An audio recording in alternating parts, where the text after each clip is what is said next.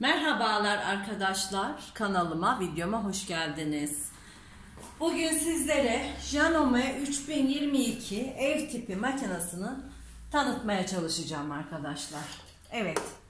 Şimdi makinamız bu şekilde. Çardağımız var. Çardaktan ipimizi takıyoruz. Bakın burada bir demirimiz var. İpi buradan takıyoruz. Şu şekilde alttan dolandırıyoruz. Tepedeki horozun içinden geçirip ipimizi tekrar aşağıya alıyoruz. Buradaki kanallardan geçiriyoruz. Ve iğnemizin ipini dıştan içe doğru takıyoruz.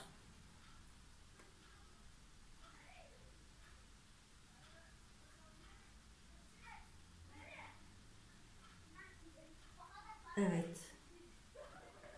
Ben hemen gözlüğümü alıp geliyorum. Pardon dıştan içe değil önden arkaya doğru takıyoruz. Sanayi makinesiyle karış, karıştırdım arkadaşlar kusura bakmayın.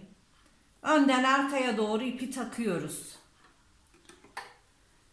Şimdi burada ayağımızı kaldırıyoruz. ipimizi arkaya doğru atıyoruz. Bakın e, makinamızın arkasında böyle bir düğme var. Bastığımız zaman makinamızın ayağı bu şekilde çıkıyor arkadaşlar.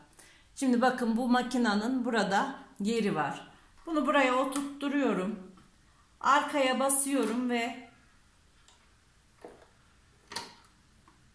bakın makinamızın ayağı takıldı.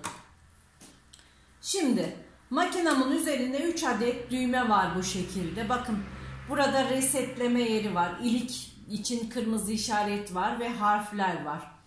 Harfler buradaki e, desenleri yapıyor arkadaşlar.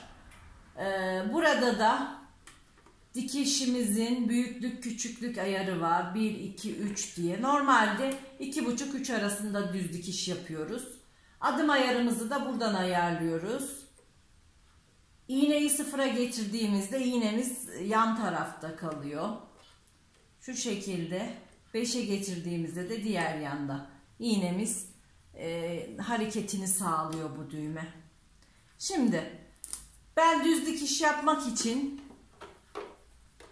makinamı ayarlıyorum. Makinamın fişinin yanında düğmesi var. Açıyoruz buradan ışığımız yanıyor. Ve makinamı A'ya getiriyorum. A'da düz dikiş yapıyor arkadaşlar. E, dikiş ayarımı da 2,5-3'e alıyorum. Normal olarak bakın. Şu şekilde pedaline bastığımız zaman düz dikişimizi yapıyoruz. Tabi daha önceden ipimizi, masuramızı sardık. Yerine taktık. Bu şekilde düz dikiş yapıyor ağda. Hemen ben makinamı C'ye alıyorum. C'de de zikzak yapacaktır arkadaşlar. Bakın. Gördüğünüz gibi zikzak yapıyor.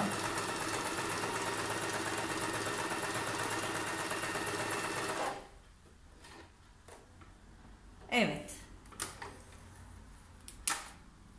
Bakın bu C'nin dikişi zikzak. D'ye geçiyorum. D'yi de deneyelim.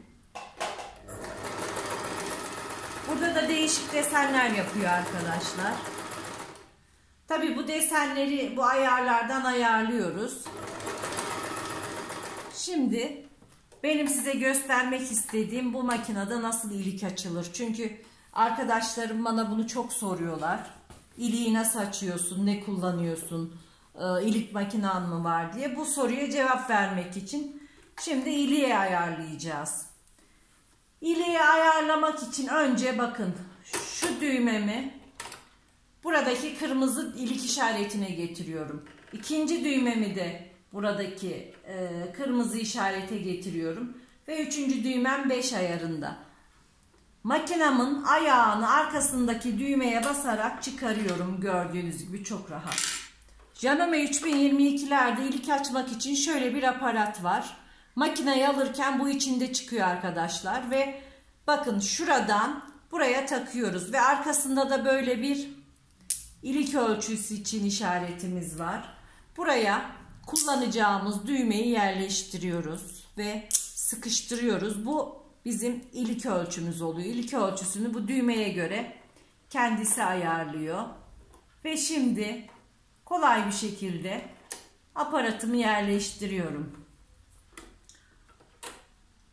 Makinamı resetliyorum. İşaret aldığım yeri kumaşımı yerleştiriyorum. Şu şekilde bakın. İliğiniz için işaret alıyorsunuz ve yerleştiriyorsunuz ilik boyunda. Ve iliğimizi açmaya başlıyoruz.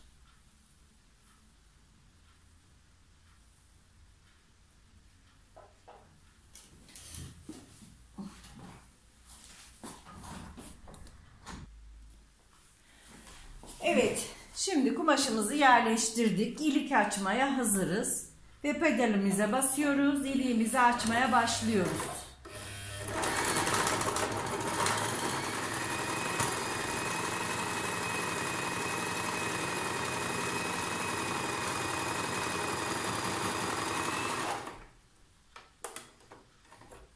Evet, burada bir yanlış yaptık arkadaşlar. Bunu da görmüş olalım. Bakın şu arkada bir e, aletimiz var. Bunu böyle indiriyoruz. Bu alet iliğimizin ölçüsü bittiğinde makinamızın tekrar öbür tarafa geçip dönmesini sağlıyor arkadaşlar. Biz bunu indirmeyi unuttuğumuz için iliğimiz böyle ördü dönmedi. Şimdi yeniden yapacağız. Resetliyoruz. İşaretimize yerleştiriyoruz ve iliğimizi açmaya başlıyoruz. Bakın şimdi makinamız iliğimizi örüyor.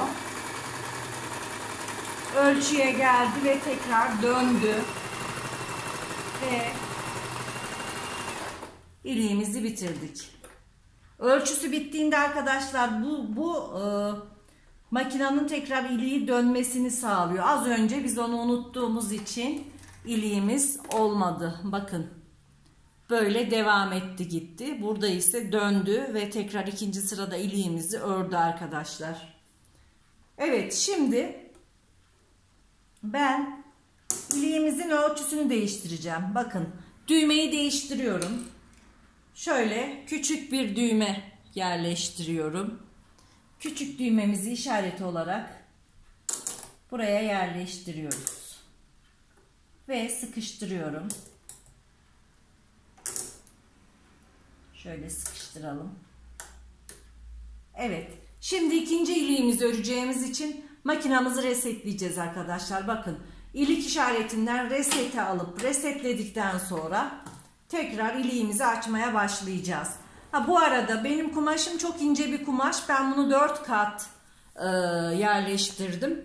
Siz böyle ince bir kumaşa ilik açmak zorunda kaldığınız zaman bunun altına mutlaka tela yerleştirmeniz ya da kağıt koymanız gerekiyor arkadaşlar. Yoksa örmez. Evet. E, ev tipi makineler biraz hassastır ilik açarken. O yüzden dikkat etmek gerekiyor. Şimdi işaretimize yerleştirdik makinamızı ve ilik açmaya başlıyoruz. İliğimizi örmeye başladı. Tekrar döndü. İliğimizin boyutunu buldu ve döndü arkadaşlar. Bakın. Şimdi gördüğünüz gibi bu da ikinci iliğimiz. Bakın arkadaşlar şu büyük düğmemizin iliği bu küçük düğmemizin iliği. Bu şekilde düzgün bir şekilde açtığımız zaman bakın arkası da böyle. Sökücü ile şuradan böyle arasını kesiyoruz. Ve iliğimiz hazır. Bunu da bu şekilde büyük iliğimizi arasını açıyorum. İliğimiz hazır arkadaşlar. Bakın iliğimi düğmemiz iliğimizden çok rahat geçecektir. Az önceki yaptığım hata da çok iyi oldu. Yani en azından onu ne işe yaradığını çok net öğrenmiş olduk arkadaşlar. Bakın şu aleti şöyle aşağı indirmeyi unuttuğumuz için iliği ördü gitti. Bakın bunu böyle indirdiğimiz için e, ilik boyutunu ördüğünde bu e, mandal sayesinde tekrar geriye dönüp iliğini tamamlıyor arkadaşlar. Evet bazen dalgınlıkla unutabiliyoruz. Videolarda hata yapabiliyoruz arkadaşlar. Kusura bakmayın. Yani hatasız insan olmuyor. hatasız hiçbir iş olmuyor arkadaşlar. Evet. Ee, Gördüğünüz gibi ilik açmak bu kadar kolay ve basit. Ee, kanalıma hala abone değilseniz arkadaşlar aboneliklerinizi bekliyorum. Videolarımı beğeniyorsanız videolarım hakkında yorumlarınızı ve beğenilerinizi unutmayın arkadaşlar. Hoşça kalın, sağlıkla kalın.